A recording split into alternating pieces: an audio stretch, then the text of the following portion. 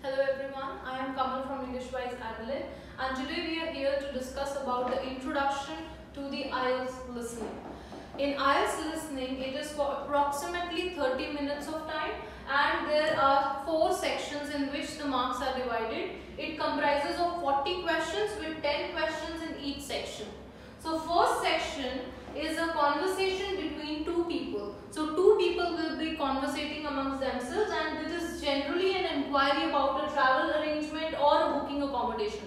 So these are just examples, the travel arrangement and booking accommodation. It is generally a conversation between two people where people are asking or inquiring about a destination or what will be the price, at what time they have to visit that event. So such kind of questions are there in section 1. In section 2 again you will get 10 questions and it is a monologue. Monologue means only one person is talking. That person is inquiring or that person is telling more about everyday aspect or social context of a person and they will tell about some event, where it is going to help, which time it is going to start and it generally constitutes multiple choice questions, maps and blueprints.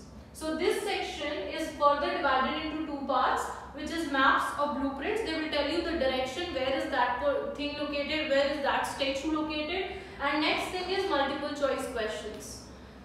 Next is your section number 3. Section 3 again will have 10 questions.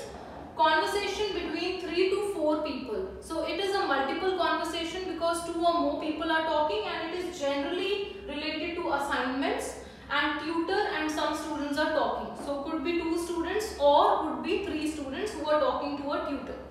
Now this also has multiple choice questions. So the tutor will be telling them what have to prepare beforehand, what they have to plan, what at the end they have to do. So all these things are there but there are multiple choice questions in this section.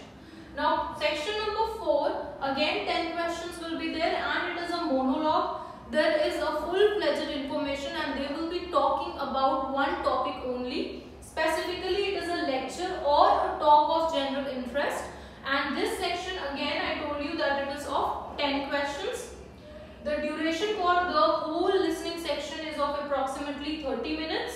And you get 10 extra minutes to transfer your answers to the answer sheet. It means after the audio is finished, they give you extra time to transfer your answers to the actual answer sheet.